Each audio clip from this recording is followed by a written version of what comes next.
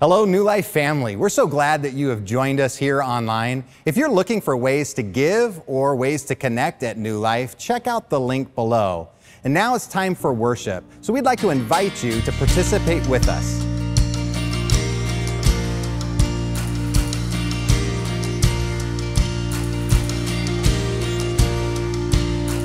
Once I was lost, wandering in darkness, no life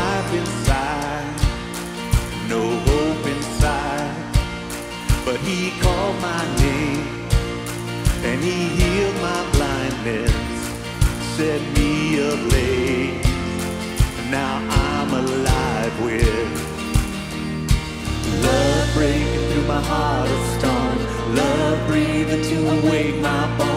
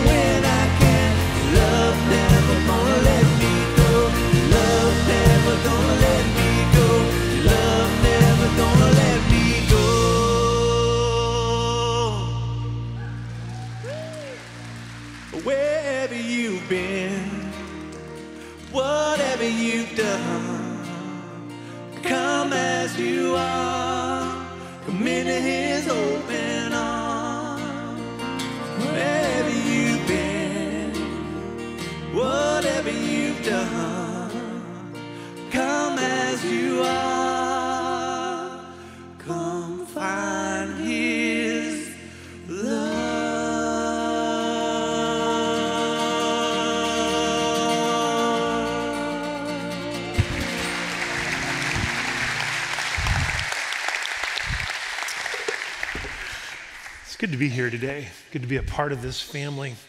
And uh, it's good to have the weather cool down a little bit, right? Uh, Some of you are going, man, I missed those 115 degree days. It was just uh, amazing. Uh, hey, I want you to get your Bibles out today. And I want you to turn to the book of Genesis. It's the first book in the Bible, should be pretty easy to find. If you have a physical Bible, or uh, if you have a digital one, just find Genesis chapter 12. Uh, and I want you just to hold that. We're not going to read it for a little bit, but I want you to, to hold it there in that.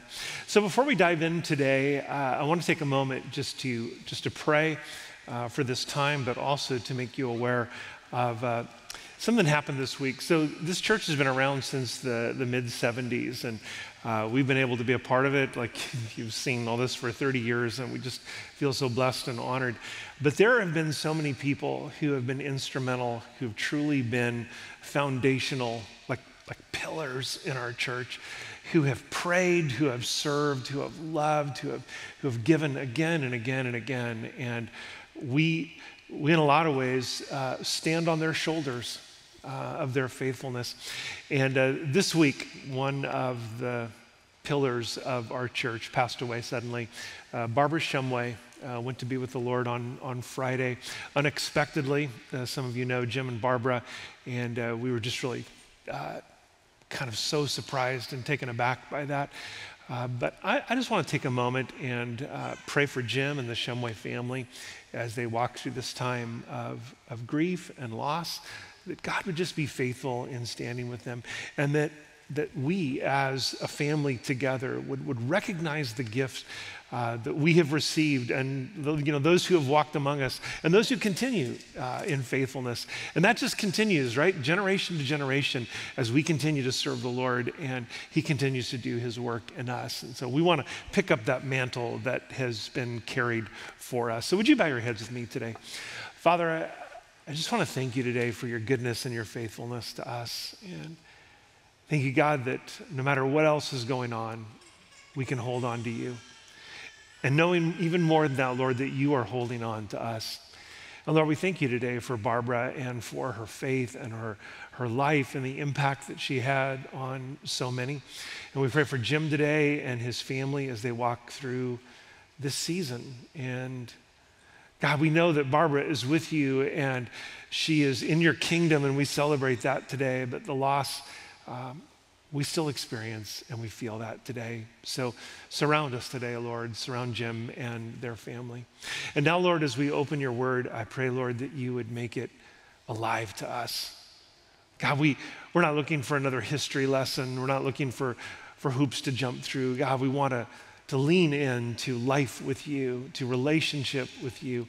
So, Lord, just make this, this time, this, this talk, this study that we join into, I pray, to God, that our, our, hearts would just connect with it in, in a deep way. Because, Jesus, more than anything else, we want you to be our teacher. We want you to be the one who leads us today. So we give this all to you in Jesus' name. Amen. Amen. Well, last week we kicked off this series called After the Amen. And we're, we're diving into this tension, this space that we experience between the Amen and the answer, right? And amen literally in the Hebrew means so be it. It's this kind of declaration at the end of our, of our prayer that we're just saying, that's it. Maybe even a, a more modern way of saying it would be, and that's the way it is. We're just kind of laying it out there for God. But it's not just like a period or some kind of um, you know, language thing that we put on the end of a sentence that we're praying to God. It really is this declaration of God, this is in your hands. As you will, so be it. And so we're looking at those times when we pray and say, God, this is in your hands, but then waiting like, like what happens in the middle of this? Like, like what's next? And it's this middle place. And this middle place between those two can be scary and lonely and frustrating, even at times. It can be unnerving for us. It can cause us to be anxious and worried. And yet, when you look through the Bible, you realize God didn't intend for us to live in those kinds of places. Now, I know we go there, I know I go there. But his desire and his intention for us is to live in a different kind of place. See, I bring my own worries and I bring my own triggers and, and I bring my own past wounds from my life. I bring all of that into the mix. And so I wonder, God, are you going to be there for me? Or are you going to take care of this? Or am I going to have to do it myself? I mean, that's what I'm bringing into it. But God has something else. He desires this middle space between the amen and the answer to actually be a place of peace and quiet and calm. He desires that, that place to be a reflective time and a trusting time. That's God's heart for the in between. as I was studying for this, it, it made me think of uh, when our kids were young, there were times if we were I don't know, out somewhere, if we'd gone to a ball game or some kind of event or even to the mall or to the store or whatever it is. And maybe there was a lot of people around. And my, usually one or more of my kids would ask, Dad, can I, can I get on your shoulders? And so it was twofold. One is when you're six five, your kids like being like way up and on top of everything, right? You know, they can look down. The other one is they just don't want to walk anymore. And you're like, oh, come on. But I would put them on my shoulders, and no matter how chaotic the crowd was, no matter how crazy things got, they were above that. And guess what? They were safe because they knew that dad had them. And I think about the tension that we live in when it comes to the, the amen and the answer. And God's inviting us to come and to lean into Him, to find His strength and His presence and His comfort, even though everything may be swirling around us. There may be chaos and there may be struggle in that, but He has something more for us. For those waiting times, He has His presence. In fact, you think about uh, one of the most famous Psalms, Psalm 23, right? That's the picture of this. The Lord is my shepherd. Remember what David writes? I have everything I need. He makes me lie down in green pastures. He leads me beside quiet waters. And how about this phrase? He refreshes my soul. And he guides me along right paths for his namesake. Those are the places of complete trust and surrender and connection to the Father, who uniquely designed us to have this living, breathing, kind of dual, you know, back and forth relationship between Him and us. And He's inviting in the, us in this to, to come ever closer. And that's the invitation to prayer, right? The invitation to come close is an invitation to pray. And we have sometimes formalized it, which there's some really beautiful written prayers that we can use and we can read. But understand that God is inviting us to, to connect with Him, to know Him, to know His heart as He knows ours, and to walk with Him in that. And in that place of prayer, we find something different than just trying to manage our own things. We find God's peace Last Sunday at the very end, uh, we sang this old song together. What a friend we have in Jesus, all our sins and griefs to bear. What a privilege to carry everything to God in prayer. And then listen to this the song goes, Oh, what peace we often forfeit, and oh, what needless pain we bear, all because we do not carry everything to God in prayer.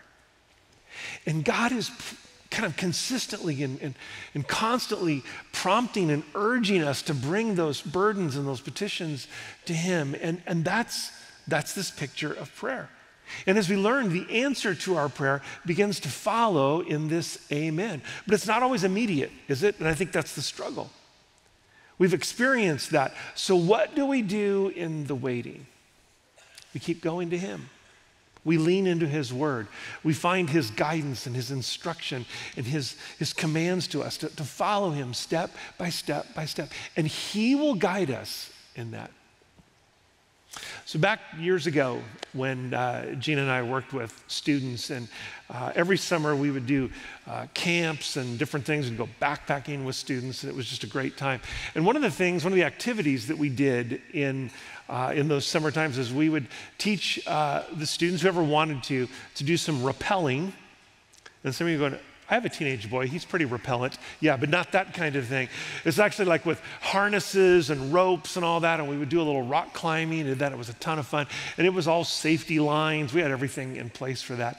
But every once in a while, there would be a student or two, they would get partway down the wall. And if you've ever done rappelling, the key is you need to lean back, trust the rope. There's a whole metaphor to this, but you trust the rope and you keep taking the steps. But every once in a while, some uh, a student would just freeze, and it would just be that. and what they would do is they would immediately grab the rope, and they would go spread eagle then on the on the rock. You know, just like, and, and you just thought, okay, you got to lean back, and they're like, no, no, no, I can't do that.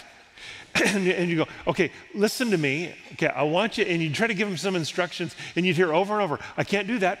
I can't do that. I can't do that. And, and they may only be like eight feet off the ground. This isn't like Tom Cruise 300 feet in the air, you know, in something.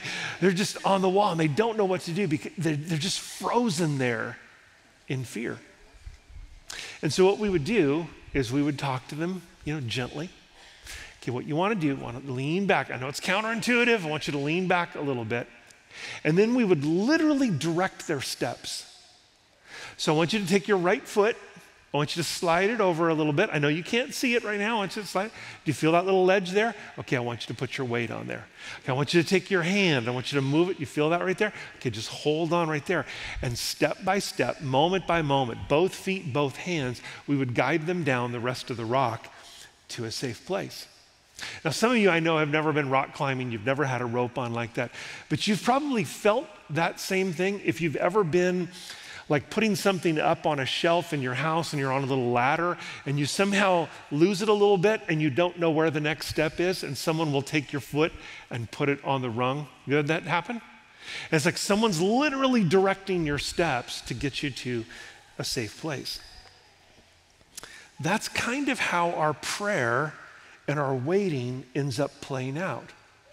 We pray and we bring sometimes really heavy, hard things to God. And in our fear and in our struggle, we, we latch onto our own answers and our own way. And sometimes we just freeze in those moments and we don't know what to do and we don't know if we can hang on and we're stuck. And all through the Bible, we see that God wants to guide your next steps. He wants to lead you to trust Him, to rely on Him, to follow Him step by step. And it's not just any old step that feels right to you, but His steps and His way. In the Old Testament, there was a man named Abram. His name was later changed to Abraham. You may know that. But in this time, and we're going to look here at, at, Genesis chapter 12, God was doing something new and he was establishing his people and he was calling out Abram to respond to him. And so I want you to follow along with me. Genesis chapter 12, we're going to start in verse 1. We're just going to read a few verses, but I want you to see the process that took place and what ultimately God was inviting Abram into, because we're going to learn some things about ourselves in this. So it says, The Lord said to Abram, Go from your country, your people, and your father's household to the land that I will show you. And I will make you into a great nation, and I will bless you, and I will make your name great, and you will be a blessing. And I will bless those who bless you, and whoever curses you, I will curse. And all the people of the earth will be blessed through you. Now, catch this. So Abram went as the Lord had told him. Now we're going to stop right there for a moment. Now I want you to kind of step back a little bit and I want you to kind of catch what's happening in here. God says, go. Go now. No real details. He doesn't say, you know, go over this next mountain to that village you already know, take a left, go into the wilderness. It doesn't say that. He just says, go, and I'll show you the place. Now, what was, what was God saying here, really? I mean, we can read the actual words that he was saying, but, but what was God's heart and God's direction in this? Here's what it was Follow me and trust me because I've got you. Follow me and trust me because I've got you. And Abram then hears the promises that, that, that God is, is going to uh, kind of bring to him in his obedience. And then there's this amazing step of faith. It says, So Abram went. God said, Go, and Abram went. And I'll tell you, I truly am in awe of that kind of faith and obedience that just responds instantaneously when God says, Go. And I've read it multiple times, and I, I think I've even done a message or two on that passage before. I just love that, that response of faith in that. But there's a little part at the end of this that I think gets kind of swallowed up in everything else. And that's actually the part that I want to zero in on today. And here's what it says So Abram went as the Lord had told him. As the Lord had told him. Abram wasn't just heading off to what he thought was right. He wasn't directing the show. He was going God's way. He was following the Lord's lead. And for us, after the amen in the waiting, God's inviting us to follow Him, to follow His lead, to take the next right step. And again, it's not just simply the step that I think is right, but it's leaning into His ways in this. And so you may be listening to this today and going, that sounds fantastic, Dave. I, I really like that. But how do I do that, right? How do I know what the next right step is? How in the world do I follow his lead? Well, we start with the steps that he's already given to us. And all through the Bible, all through God's word, we're invited and instructed to walk in his ways. And so, in this time of waiting, it's not just a do nothing static posture, right? We talked about this last week a little bit. We sometimes think waiting is like the waiting room, like I'm not doing anything. But throughout the Bible, waiting on God is active trust. God is inviting you and I to stay attentive to Him and obedient in the waiting. To, to pray the prayer and to say our amen, to bring that to Him, but then to trust Him in the tension of the middle while you're waiting. Think about all that, all that the Bible invites us into, right? Those aren't put on hold. We don't pause those things. We continue to take those steps. So while I'm waiting, I keep loving and serving other people. While I'm waiting, I still surrender and submit to, to my spouse and to, to my leaders and those in authority. The Bible tells us that, right? While I wait, I keep studying and, and reading God's word. While I wait, I stay connected in community with other believers because the Bible tells us don't give up the habit of meeting together. While I wait, I continue to worship and thank and praise God. While I wait, I engage deeply in those quiet moments, those times of silence and solitude. That's active trust, it's active waiting. Think about it. What exactly are we waiting for? after the amen. An answer, right? But is it an answer? Or are we really waiting for the answer? See, we pray for specific things, and God invites us to do that. It says, Bring your request to me. But ultimately, the answer is Jesus Himself right in the middle of my circumstances.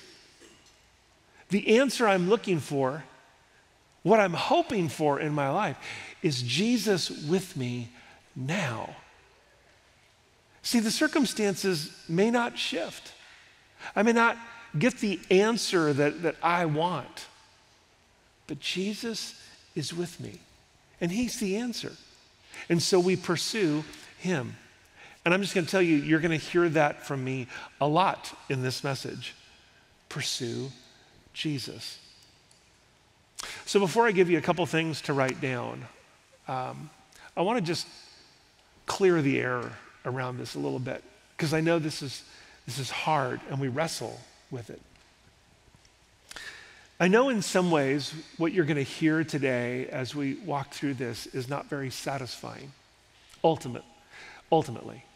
I mean, th- there's this satisfaction that we come knowing that God is with us. But in the moment, it doesn't seem satisfying because we want things fixed and we want our circumstances to change.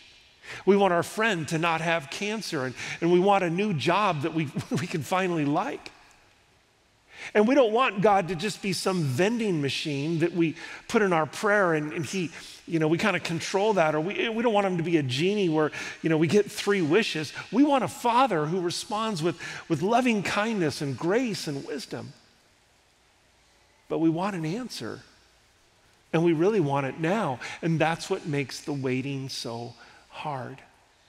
Because in the waiting, we start questioning and we start wondering God, are you really there? It's all right. Usually they're going the other way. So I'm just, you know.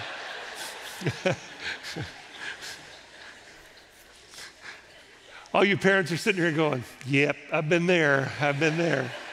Hey, no worries, man, no worries. But, but this is why the waiting is so hard, right? God, where are you in this? We wonder, do my prayers make any difference at all? Is God going to respond? And so here's the thing, and this is the challenge, and I do this, and you probably do as well. It's easier at times just to manage and control and try to figure it out on our own. I'll do it. I'll hold it. I'll make it happen. Because we don't know what to do in the waiting. So I get it. I'm there sometimes too. But can I tell you something? In the prayer and in the waiting, God wants to do deeper things in you and in me. Deeper things. He, he wants us to know Him and to trust Him, even when there's silence, even when there's waiting, even when it still seems dark. He wants to strengthen our faith in Him for things that we can't even see yet, that are still in the future to come. I want to read you a quote from Elisabeth Elliot. Elisabeth and her husband Jim were missionaries years ago down in Ecuador. I'm talking like I know them. I don't. I've just read their books. Um, if you've ever read the story through Gates of Splendor, you read the story of Jim and some other missionaries who were brutally murdered as they were sharing God's love with a tribe uh, in the jungles of Ecuador.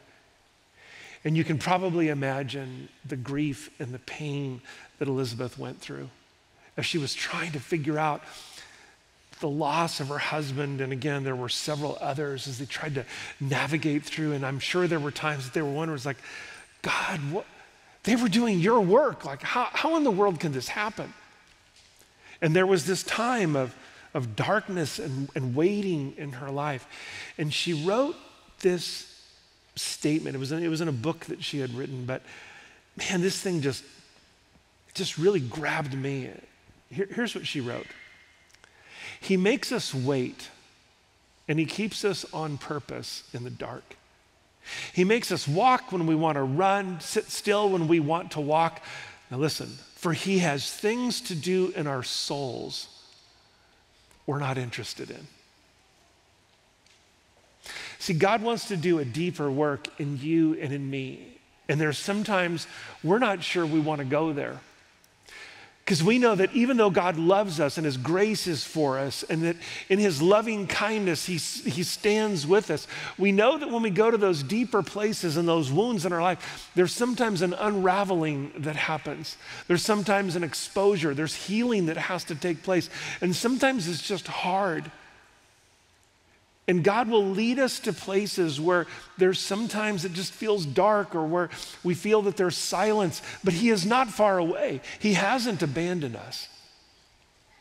But in His wisdom and in His great love, He wants to do deeper things in our souls that we're not even sure we want to go there yet. But He wants to make us holy. The waiting is challenging, but He's with us in the wait.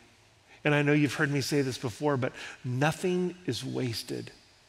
God is using this time, this season, these struggles in my life and in yours to love us, to refine us, to deepen us in Him. So let me give you just a couple things. I want you to write these down today if you've got your note sheet.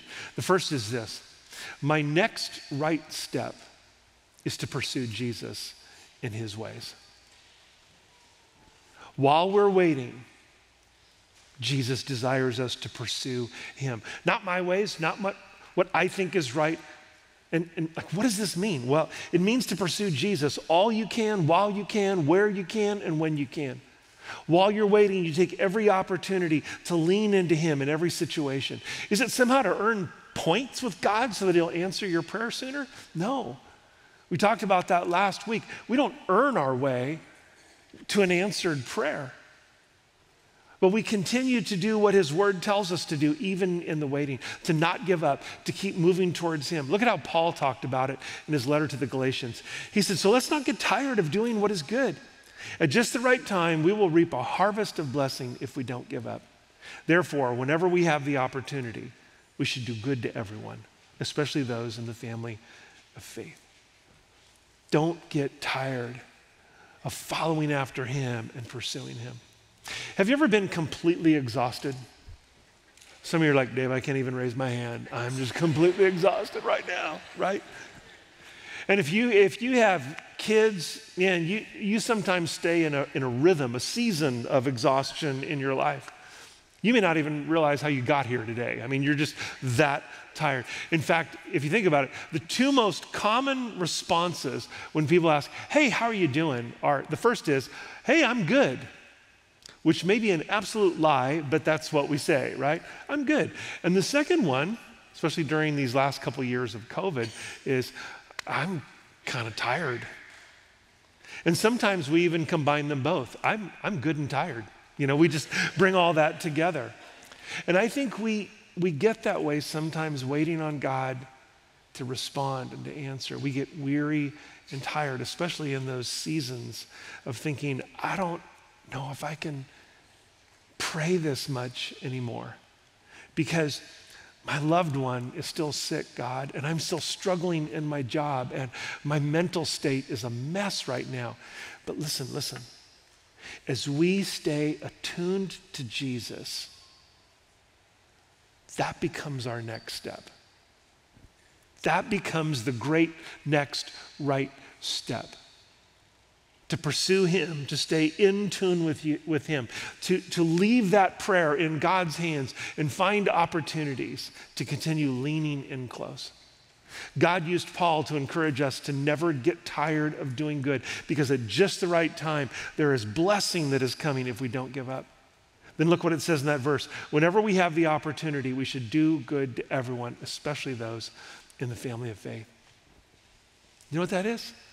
That's the people you're sitting around today. You get to take the next right step, pursuing Jesus by loving those around you. But it's not just here in this room, it's people throughout our community. It's, it's the mission that we have here to love people one step closer to Jesus. That's why we do a food pantry to reach hundreds and hundreds of families, to give them some food to eat in this crazy time that we're in. Because we can love them just one step closer. That's why we want to go down to Mexico and work at the orphanage there, just, just to love them closer to Jesus. The New Testament uses this phrase, one another, dozens of times. Encourage one another, love one another, pray for one another, serve one another, on and on and on. And we don't do those just when we feel like it or when we want our prayers answered. That's the call for every single one of us, moment by moment. What's my next right step? Do what the Bible says. Encourage someone today, love someone today, pray for someone today. Because in the waiting time, nothing is wasted. God is using it all He's using it all from his timing to our next steps to further his kingdom. Trust that you are a part of that, even in the waiting. Paul wrote this So, my dear brothers and sisters, be strong and immovable. Always work enthusiastically for the Lord, for you know that nothing you do for the Lord is ever useless. Write this down for number two. My next right step is to love God and love others. That's what we were just moving into. It's a great way to remind us that it's ultimately not really about us. Yes, I'm bringing my request to God in prayer, and He tells me to do that. But He also reminds me to trust His will and His way, and that His plans and His purposes are woven together with kingdom good and with other people as well. It's, it's a shift in perspective for me. Paul said, Don't be selfish, don't try to impress others, but be humble. Thinking of others is better than yourselves. Don't look out only for your own interests, but take an interest in others too. So, how do we love God and love others? Well, we put Him first, we seek His kingdom first, and we open ourselves to His leading us to opportunities to be a blessing to those around us. Loving God and loving each other. Jesus said these are the most important commandments in which we live our lives. And while we wait in the gap between the amen and the answer, we keep our eyes on Him, desiring His will and focused on His kingdom, so that our hearts can stay in that place of, of tender alignment. I'm going to ask our worship team to come on out as we start bringing this to a close. And they're going to sing a song uh, at the end. And just, we actually just want you to sit back and just listen to this. Because here's the thing we've said our amen, and we're going to occupy our time, our mind, and our heart by pursuing Jesus in his ways. And by doing that, love God and love others. Paul wrote, Pray for us too that God will give us many opportunities to speak about his mysterious plan concerning Christ. You don't have to wait to do that. You don't have to manage and manipulate after the amen. You can take the next right step, God's right step, right now, today, tomorrow, and in the days to come. But remember, it all starts with prayer, with coming to Jesus, bringing it all to Him. And in His name, things happen. In His name, miracles begin.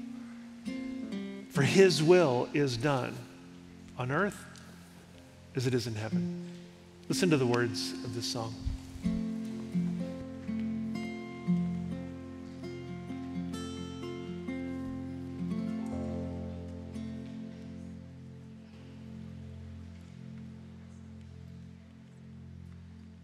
I speak the name of Jesus over you.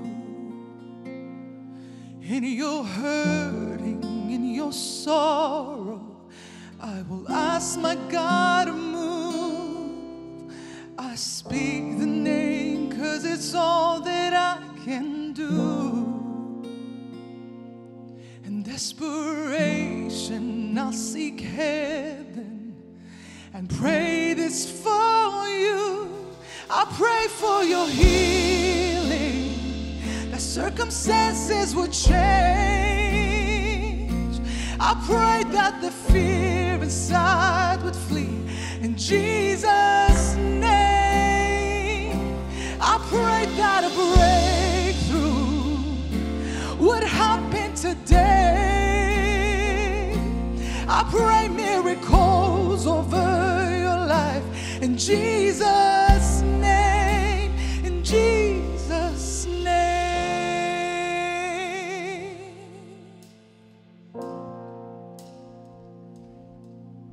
I speak the name of all authority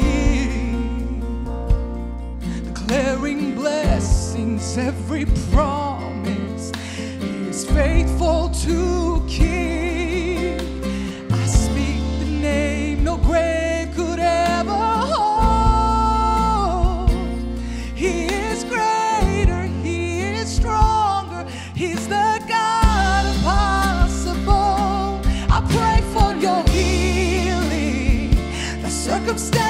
would change.